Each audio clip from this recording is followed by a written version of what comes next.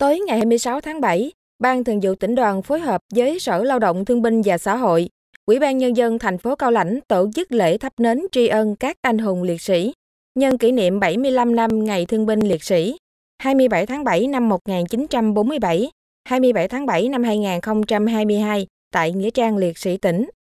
Đến dự có Bí thư tỉnh ủy Lê Quốc Phong, Chủ tịch Ủy ban Nhân dân tỉnh Phạm Thiện Nghĩa, trưởng ban dân vận tỉnh ủy, Chủ tịch Ủy ban Mặt trận Tổ quốc Việt Nam tỉnh Lê Thành Công, Phó Chủ tịch Ủy ban Nhân dân tỉnh Đoàn Tấn Bửu, cùng hơn 200 đoàn viên thanh niên. Trong không khí trang nghiêm, lãnh đạo tỉnh, đại biểu và đoàn viên thanh niên đã thành kính dân tràn qua, dân hương và dành một phút mặc niệm trước tượng đài Tổ quốc ghi công,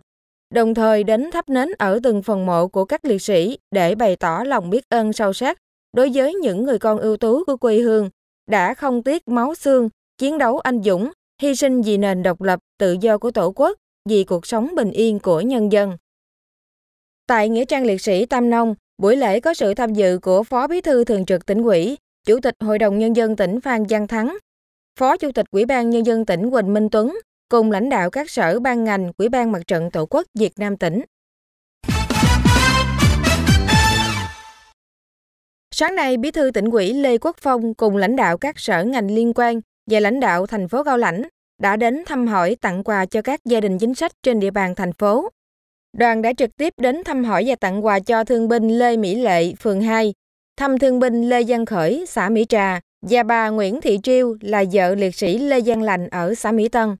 Tại những nơi đến thăm, Bí thư tỉnh ủy Lê Quốc Phong ân cần thăm hỏi sức khỏe, cuộc sống của các gia đình và bày tỏ lòng biết ơn sâu sắc đối với sự hy sinh, công lao đóng góp của các gia đình liệt sĩ, người có công đối với sự nghiệp đấu tranh thống nhất đất nước, giành độc lập tự do cho Tổ quốc. Bí thư tỉnh ủy mong muốn các gia đình tiếp tục phát huy truyền thống và phẩm chất đạo đức cách mạng là tấm gương sáng cho thế hệ trẻ noi theo, đồng thời đề nghị cấp quỹ chính quyền địa phương tiếp tục quan tâm, thực hiện tốt hơn nữa chế độ chính sách dành cho đối tượng chính sách, người có công trên địa bàn.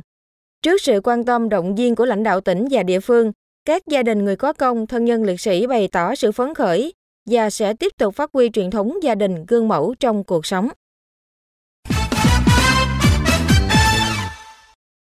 Nhân kỷ niệm 75 năm Ngày Thương binh Liệt sĩ 27 tháng 7 năm 1947, 27 tháng 7 năm 2022, chiều ngày 26 tháng 7, ông Phan Văn Thắng, Phó Bí thư Thường trực tỉnh ủy, Chủ tịch Hội đồng Nhân dân tỉnh đến thăm, tặng quà cho thương binh, người bị nhiễm chất độc hóa học có hoàn cảnh khó khăn trên địa bàn thành phố Sa Đéc.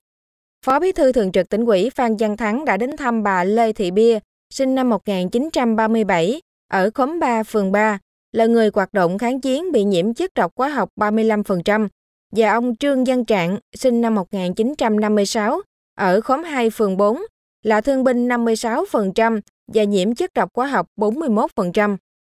Tại mỗi nơi đến, Phó Bí thư Thường trực tỉnh ủy Phan Giang Thắng đã ân cần thăm hỏi sức khỏe, hoàn cảnh sống, kinh tế của từng gia đình. Khẳng định đảng, nhà nước và nhân dân luôn ghi nhớ những đóng góp, sự hy sinh của thương binh, bệnh binh và gia đình chính sách đã cống hiến, hy sinh trong các cuộc kháng chiến giành độc lập, tự do cho Tổ quốc.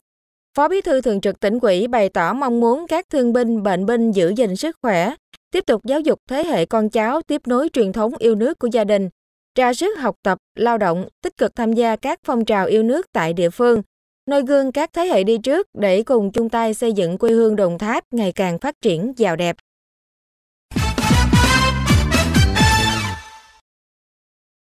Chiều nay, Phó Bí thư Thường trực tỉnh ủy, Chủ tịch Hội đồng Nhân dân tỉnh Phan Giang Thắng chủ trì hội nghị sơ kết công tác nội chính phòng chống tham nhũng tiêu cực và cải cách tư pháp 6 tháng đầu năm 2022.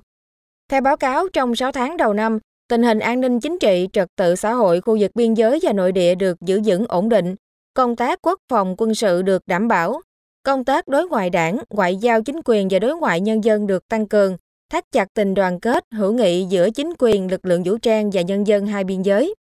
Cấp quỹ tổ chức đảng và chính quyền các cấp, các ngành, nhất là các cơ quan khối nội chính, đã quán triệt, triển khai thực hiện nghiêm túc, kịp thời văn bản lãnh đạo chỉ đạo của Trung ương, của tỉnh ủy về công tác nội chính, phòng chống tham nhũng tiêu cực và cải cách tư pháp. Nổi bật tỉnh Đồng Tháp là một trong năm tỉnh thành phố cả nước đầu tiên tham mưu thành lập ban chỉ đạo về phòng chống tham nhũng tiêu cực cấp tỉnh. Các cơ quan tư pháp tăng cường công tác điều tra, truy tố, xét xử thi hành án chặt chẽ, đúng quy định của pháp luật, kịp thời trao đổi phối hợp tham mưu cấp quỹ các cấp chính quyền tập trung giải quyết, nhất là xử lý đối với các vụ việc đông người phức tạp kéo dài.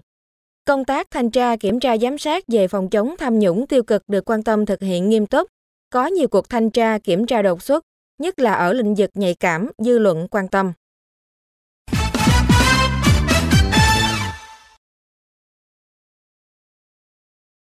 Hôm nay, Ủy ban Nhân dân tỉnh ban hành kế hoạch triển khai thực hiện Nghị định số 116 ngày 21 tháng 12 năm 2021 của Chính phủ, quy định chi tiết một số điều của luật phòng chống ma túy, luật xử lý vi phạm hành chính về cai nghiện ma túy và quản lý sau cai nghiện ma túy trên địa bàn tỉnh.